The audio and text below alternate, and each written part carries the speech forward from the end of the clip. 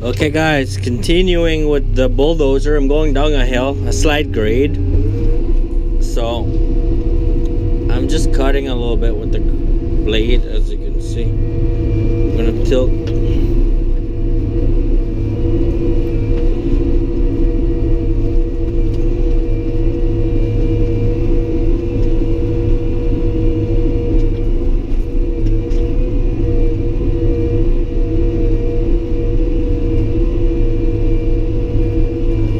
Up this little hill.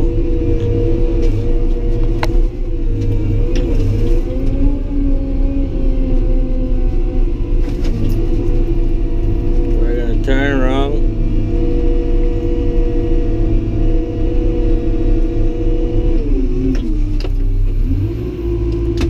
Reverse.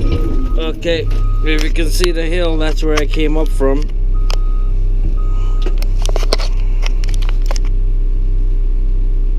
All right, we're to go go back. I have my clutch depressed on the foot pedal. I'm gonna pull it into reverse. I'm gonna steer by pushing my lever to the side. I'm gonna slow down the speed with my thumb. Clutching again. Brake forward. Let's see the speed. Yeah, slow it down, slow it down. A little bit more speed. And we're going down.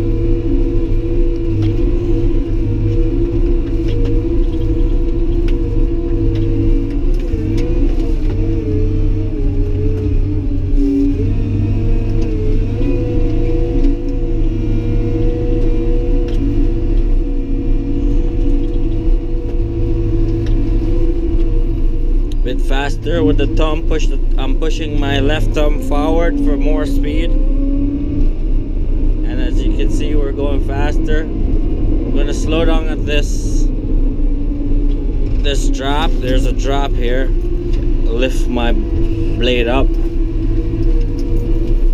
Put my blade down to get a nice grade here